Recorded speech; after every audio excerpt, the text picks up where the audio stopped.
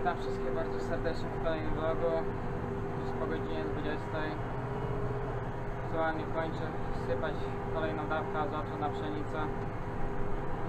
Znajdujemy się na największej działce, którą obrabiamy. Stoi około 7 hektarów.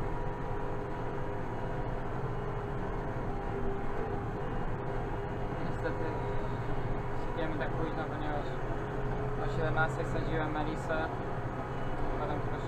Potem tylko szybko dałem obiad, a teraz znowu sypię.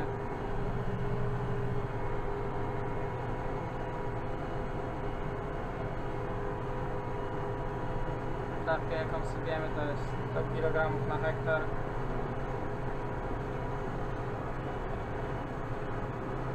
Deszcze ostatnio bardzo podratowały pszenicę.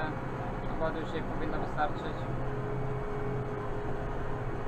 Ostatnio one spadały chyba 4 czy 5 dni z rzędu. Jedynym miejscem jest to, że trzeba poczekać po prostu aż wiatr się trochę uspokoi, bo ostatnimi czasy naprawdę bardzo mocno wieje.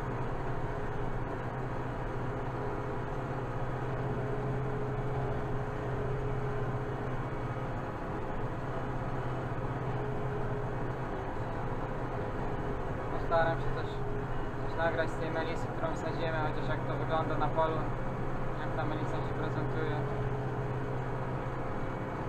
Tamto pole powinien skończyć maksymalnie dwa dni, tam jeden dzień, półtora. Skończyć to sadzenie, a potem nie wiem czy będziemy chyba dalej jeszcze sadzili tam obok oregana. I tak nam zostanie dużo tej rozsady.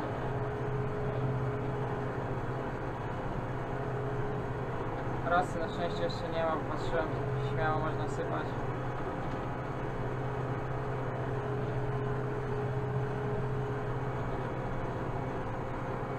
Objechałem całe pole dookoła. I teraz po prostu tylko wyłączam. Przed żeby nie nakładać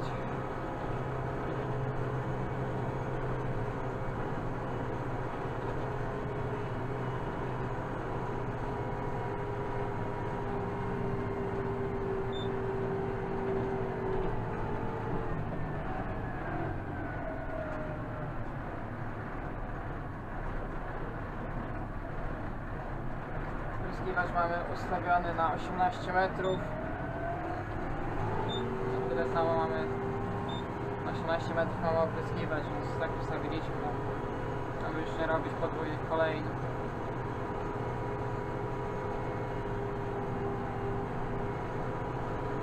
No ja, że prawie 10 na godzinę, no po prostu jak najszybciej już to rozsypać. Na tym polu jest akurat bardzo ładna pszenica.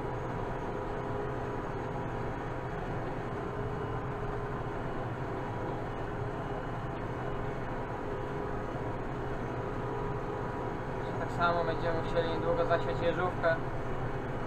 Ciągle odkładamy, ale to też brakuje nam czasu.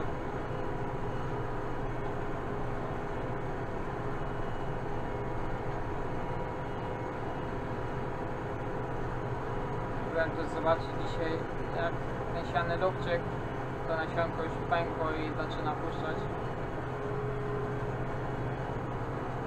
Te deszcze na pewno uratowały, no, ale u nas co roku właśnie w maju dopiero zaczyna padać. Zawsze jak zaczynamy sadzić melisę na wiosnę, to zawsze przychodzą deszcze. W tamtym roku przyszedł taki że posadziłem z 3 dni. Przyszła taka ulewa i akurat na tym polu, gdzie jest, jest lekko z górki, to po prostu wyżłobiło takie koryto i wymyło całkowicie melisę.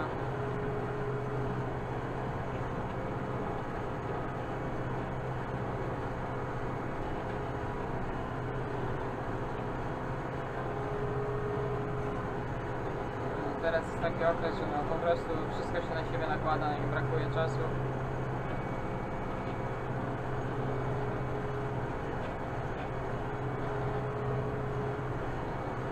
Jak mi się uda, to też spróbuję coś nagrać z siania tej jeżówki, bo nie wiem, czy będziemy chcieli w tym tygodniu, a jak nie, to początek następnego na pewno.